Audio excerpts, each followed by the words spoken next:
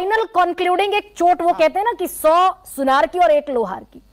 मुद्दों पर होगा चुनाव या इस देश में हिंदू मुसलमान पाकिस्तान रमज़ान दिवाली इसी पर वोटिंग होती रहेगी बरसों बरस। अगर मोदी जी का बस चले और बीजेपी का बस चले तो सिर्फ़ यही होगा क्योंकि उन्हें हिंदू मुसलमान के अलावा और कुछ सूझता नहीं है। जब आदमी बौखला जाता है तो जब डेस्परेट होता है आदमी तो फिर ऐसे ही करता है।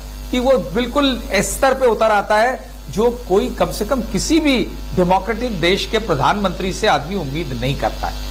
और ये बड़ी इंटरेस्टिंग बात है कि जो साहब बीजेपी के महानुभाव जो लेकर के आए थे, उसका कांग्रेस का मैनिफेस्टो वो बड़ी सिलेक्टिवली पढ़ रहे थे उसको। जहाँ पे लिखा हुआ है कि दलित, पिछड़े शेड्यूल्ड ट्राइब्स और माइनॉरिटीज तो उनको खाली माइनॉरिटीज पढ़ा वो मैंने आपको चश्मा लगा हुआ है तुम पे भी मुसलमान ही है। पे हर चीज़ पे झूठा पर बात हुई नहीं नहीं आप वहाँ पे नहीं पूरा।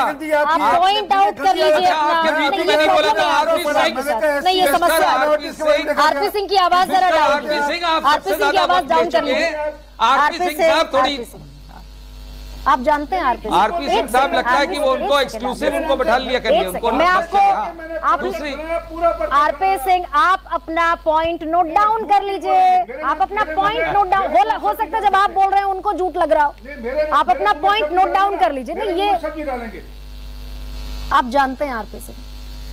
मैं बिल्कुल इस 40 मिनट के प्रोग्राम में बिल्कुल इस 15 बात मिनट बोल चुके हैं उनका बस चले तो वो खाली यही है यही है मोदी का स्टाइल यही यही है मोदी का स्टाइल किसी और को बोलने ही मत दो। अपनी बकवास करते रहो दूसरे को मत बोलने आरपी दो। सिंह आरपी सिंह नहीं RP Singh I am so sorry I am RP Singh I am so sorry आप अपने शब्दों के चयन के प्रति कम से कम गंभीर रहे नहीं आप बोला। अरे भाई, बोला आरपी सिंह इस तरह के शब्दों का इस्तेमाल RP Singh sorry RP Singh आप RP Singh RP Singh you should apologies you should नहीं आप इस तरह के शब्दों का इस्तेमाल नहीं करेंगे नेशनल टेलीविज़न पर बैठकर। नेशनल टेलीविज़न पर बैठकर आप इस तरह के शब्दों का दलाल जैसे शब्दों का इस्तेमाल नहीं करेंगे आरपी सिंह आप। ये तय है। मैं आपकी डिबेट में कह रहा हूँ। ये तय है कि आप दलाल जैसे शब्दों का इस्तेमाल आप नहीं करेंगे। उसी प्रकार की है। वो पूरा का पूरा एजेंडा उनका मोदी के विरोध में ये आप तय नहीं करेंगे ना आरपी सिंह। जो आदमी को यही काम किया हो ज़िंदगी भर उसको सब दलाल दिखेंगे।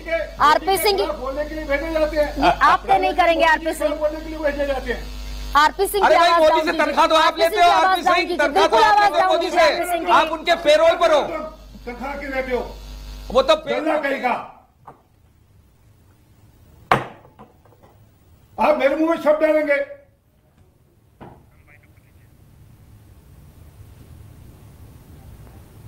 आरपी सिंह इस तरह की भाषा के लिए वो क्या कह रही है? मैं आरपी सिंह आरपी सिंह एक सेकेंड आरपी सिंह एक सेकेंड अब आप मेरी सुनिए। आपकी जानकारी में कैसे आऊँगा यहाँ पर? अब आप मेरी बात सुन लीजिए। आप ये बताइए अपने दर्शकों को। आप मेरी बात- गाड़ी में आया नहीं आया?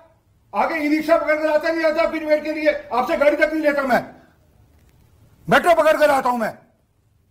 मुझे कहेंगे तनख्वाह लेता हूँ मैं। आरपी सिंह एक जिम्मेदार पार्टी के एक जिम्मेदार प्रवक्ता है और कम से कम सबसे बड़ा सवाल का ये मंच कम से कम आपकी अनैतिक भाषा के लिए नहीं है।